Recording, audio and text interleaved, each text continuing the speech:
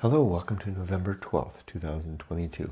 My name is Kurt, and this is the Good Life Meditation, a video that I make each and every morning shortly after waking up. It's 4.30 a.m. right now, um, to ready myself for the day, to think about how I did yesterday with the challenges and opportunities that I encountered, and to go over my life objectives and principles one by one.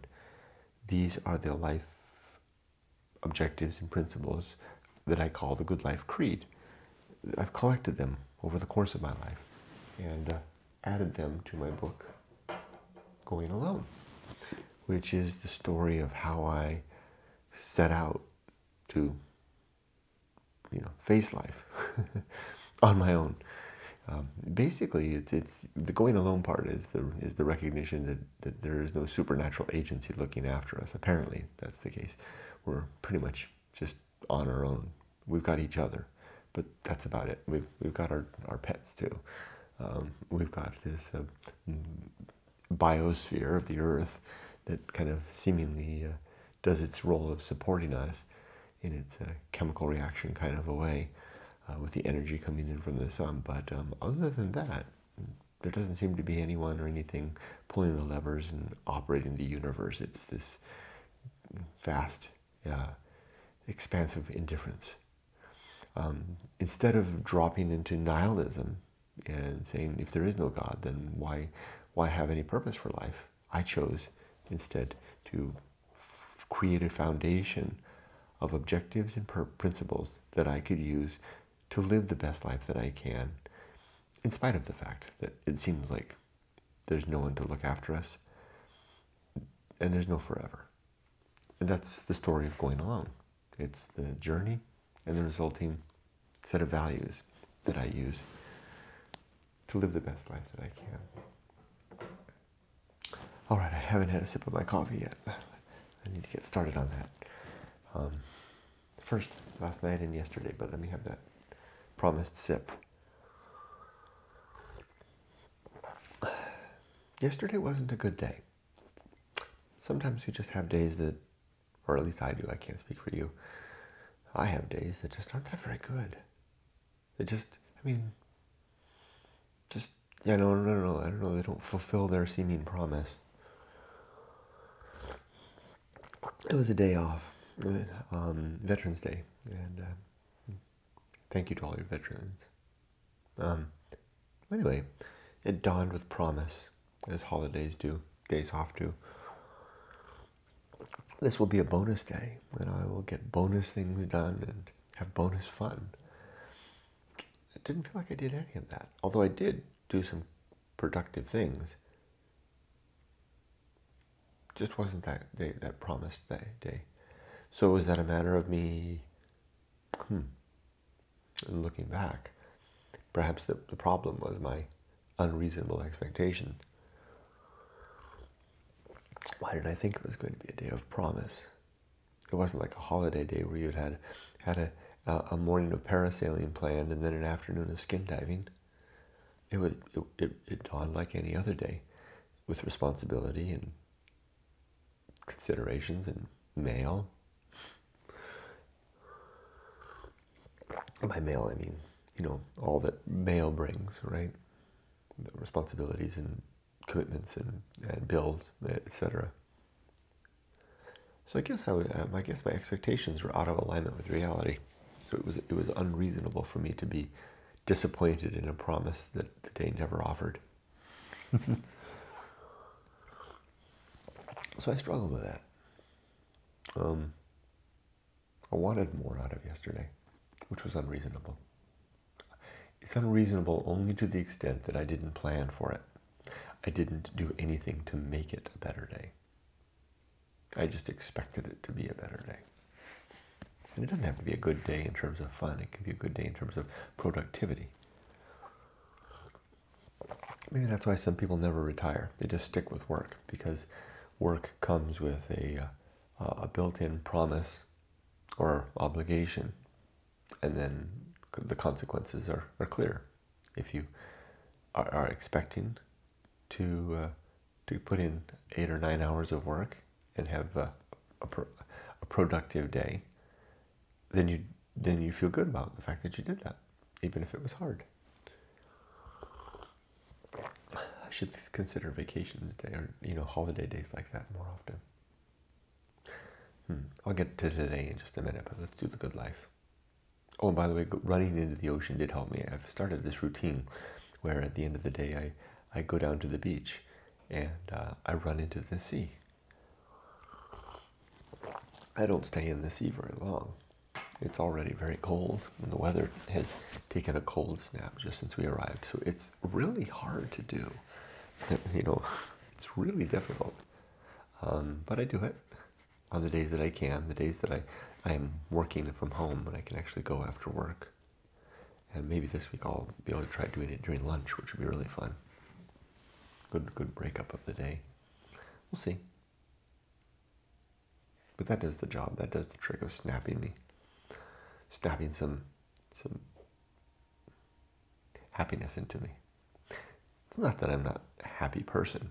I'm just a sober person during the day. sober and taking on challenges and consider and considering my responsibilities and endeavoring and, and over untangling knots and all of that.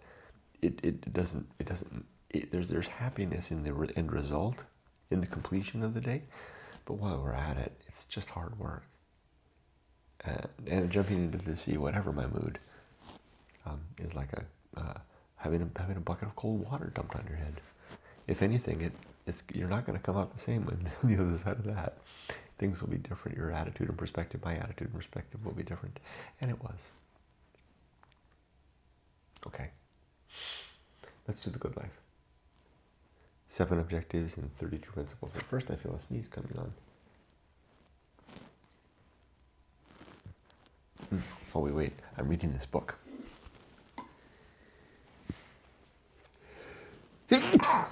Pardon me. Gates of Fire. Very interesting. Um, it's about, uh, it's by uh, Steven Pressfield.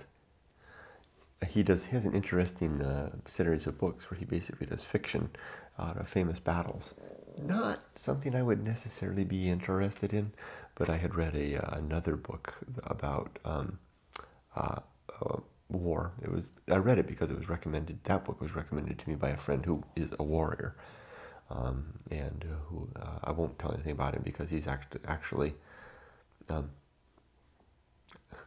I won't say anything more for his safety. Anyway, that friend of mine has some has some stories to tell, and uh, he tells me in confidence. I'll just go. I'll just go ahead and say that that um, he has absolutely zero social media. There's no way that you can actually find him because um, there are people who can, to this day, are looking for him. So anyway, he recommended after his experience in telling me about some of his stories, he told me about this book, um, which I, I picked as one of those things that well, you know, he, we were talking, and I and I and I got the phone. and I said, "Wow, the Gates of Fire." Okay, and I went to Amazon and purchased, bang, and it was there the next day. And it's been sitting in my reading shelf forever, and I finally got to it. Um, and it's a page turner and it's a, it takes it's the position of a of, of a Spartan slave warrior um, in uh, a Helot, and who's who was the sole survivor of the uh, of the um, Battle of uh, Thermopylae. I hope I say it right, which which which was the you know the famous um, movie 300, the story of the 300, the Spartans that that uh, faced down the, the armies of the of the Persian armies of Xerxes. Anyway, just imagine yourself going in as the so soldier in the battle. And this is, he's captured. He's the sole survivor, trod under and left for dead. But his surgeons bring him back. Xerxes, the great Persian king, um, brings him back and then has him sit and tell him through an interpreter the story of his life and how he wound up at the at the hot gates. Page turner, I'm telling you. So I'm really enjoying really enjoying that got some good mileage, and I read it at the beach too. So I sat here in my reading chair yesterday and read it, and after I walked the dogs, and then I. That's one thing nice about this little house is there's fewer chores to do, so I can be, have more free time. That's no small thing.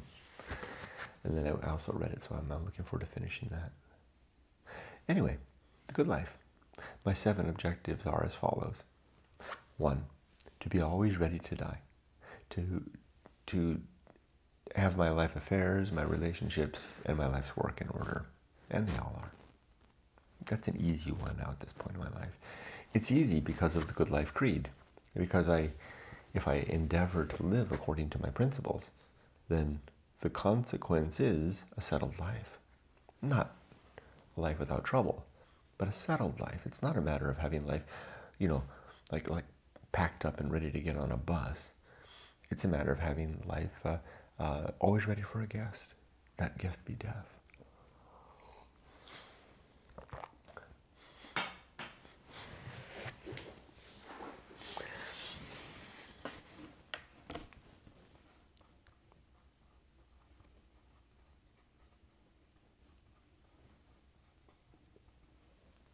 So when the uh, knock or the ding dong comes at the door, ding dong, and I go to answer it, and there's the Grim Reaper come to take me away.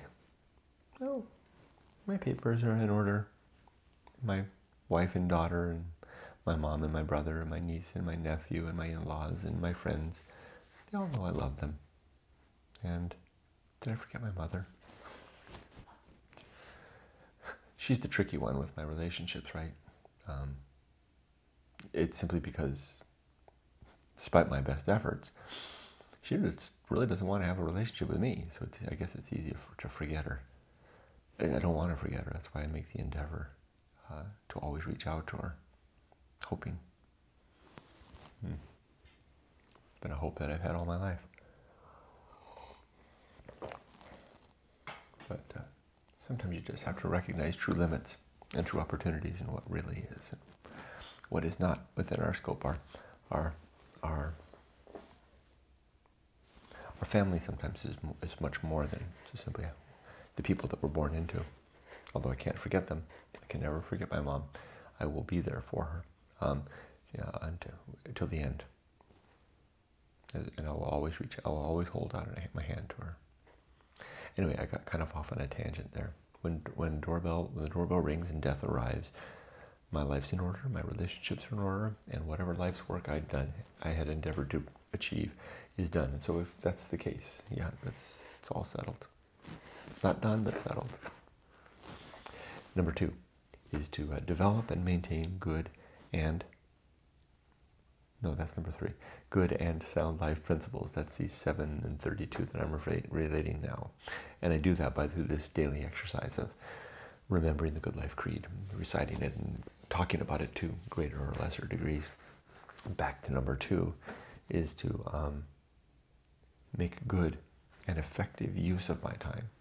That's probably one of the things I was frustrated about yesterday, was that I, I I had some vague idea about how I was going to use the time. I should, I should have laid it out. You know what I'll do?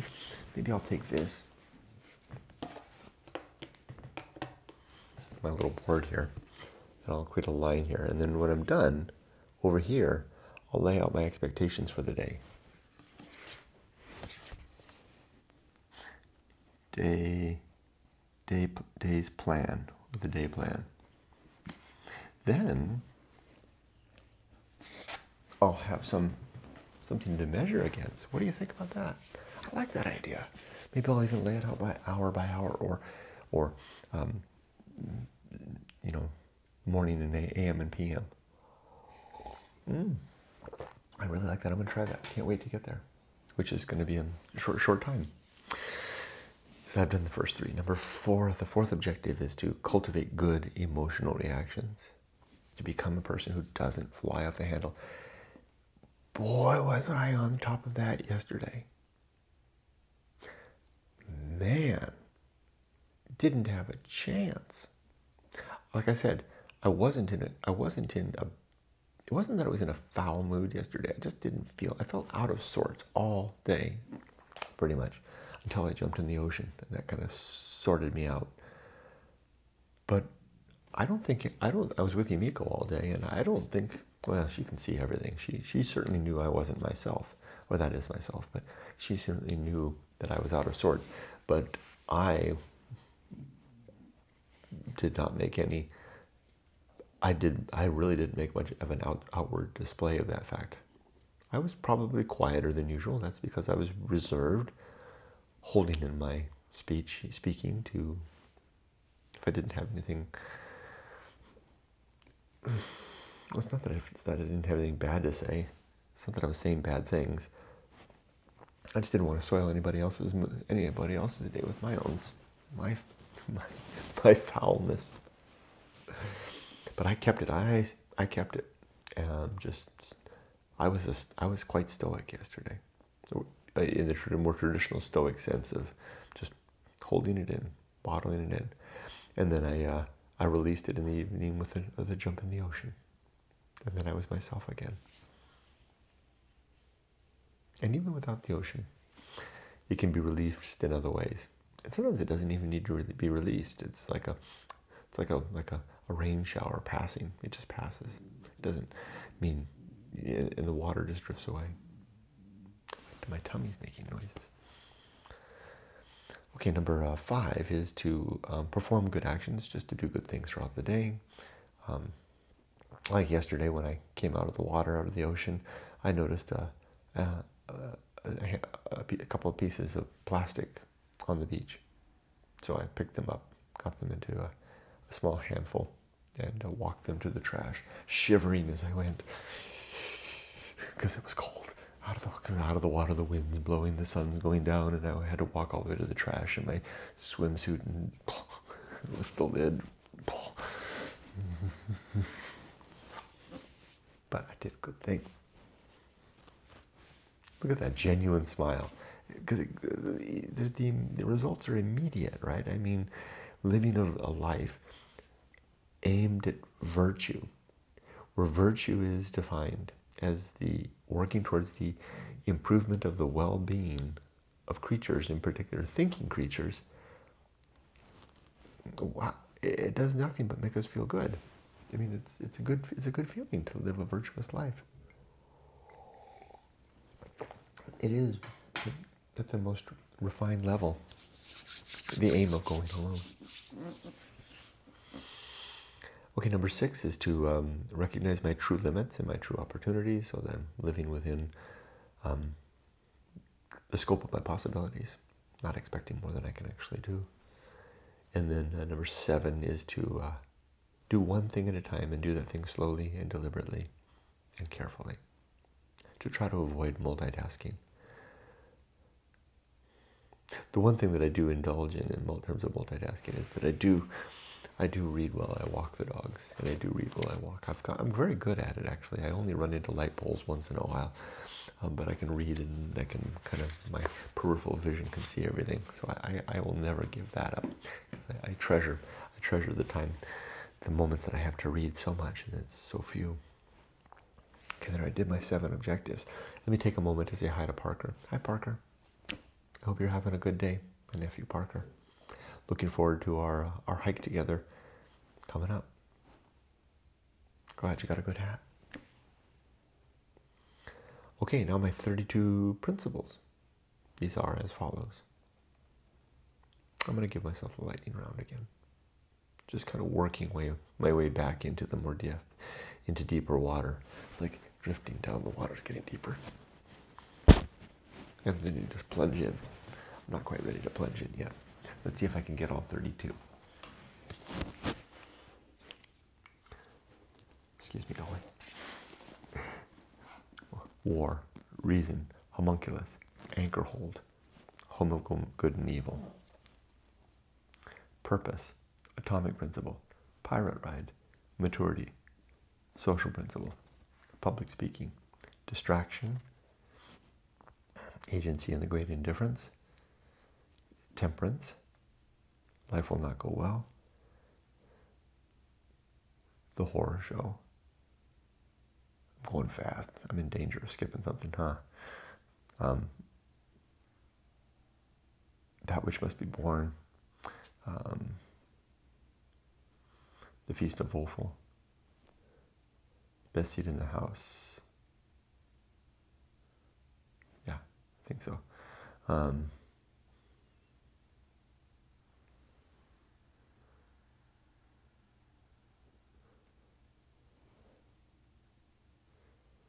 The Restless Man, The Path of Wildness, The Great Life Adventure. Why do I feel like I missed something? A Great, uh, great Life Adventure. Um, that which must be, no. That's, is that the one I missed? Did I miss that which must be borne? Maybe I did. I'll put that up here as a possible maybe. Um, now I don't remember where I was.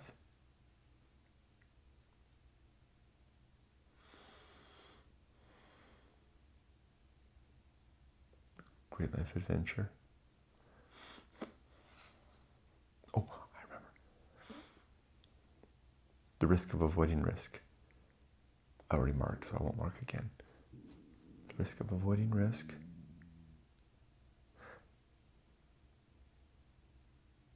Sin and damnation, complete oblivion.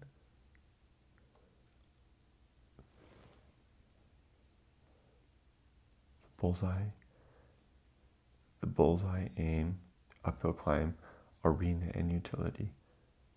Nothing is enough. The principle of fun. So that's 30 or 31. I definitely missed one or two. Well, that's what I get for going fast, right?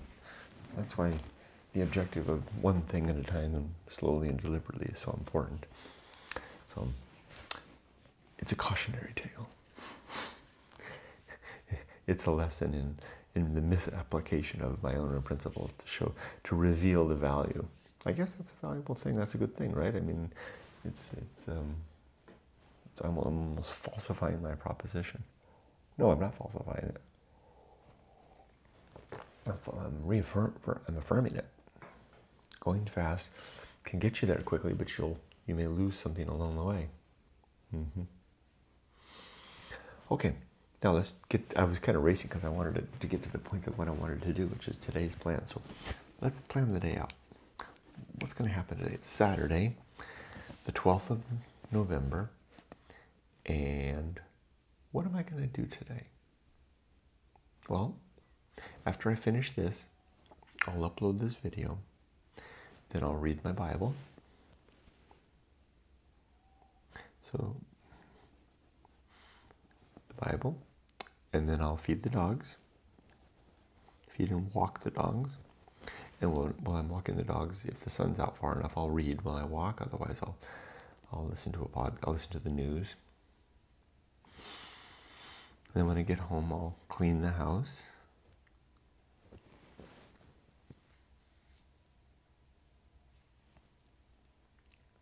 That won't take long. Small place is easy to clean this is where it kind of spins off, right? This is why this is such a useful thing. I think Yumiko said she's going to do some stuff. If that's the case, then maybe I'll go to the beach. Hmm. That'll take the whole morning. Oh, lunch. Yumiko and I will get lunch together, and after the lunch, that'll take me all through the AM. So the AM's all mapped out. The PM is, I'm just going to call that open. Do whatever. Read, I'm working on um, I'm working on a Good Life meditation live stream. I created some uh, PowerPoint slides that I might work on for that.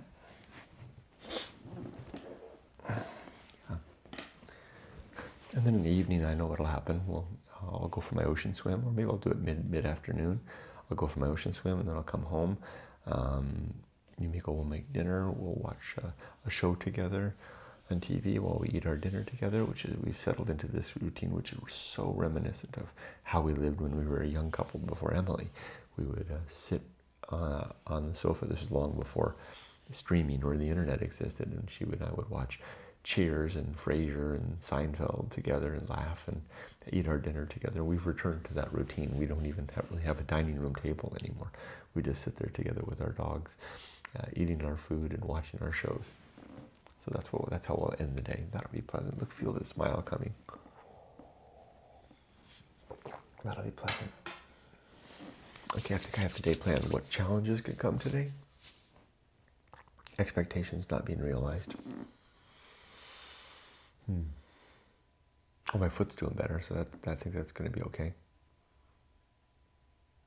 Yeah, I think that's it. I might anticipate that I'm going to have a fun afternoon, but if I don't plan it out, then that doesn't plan out.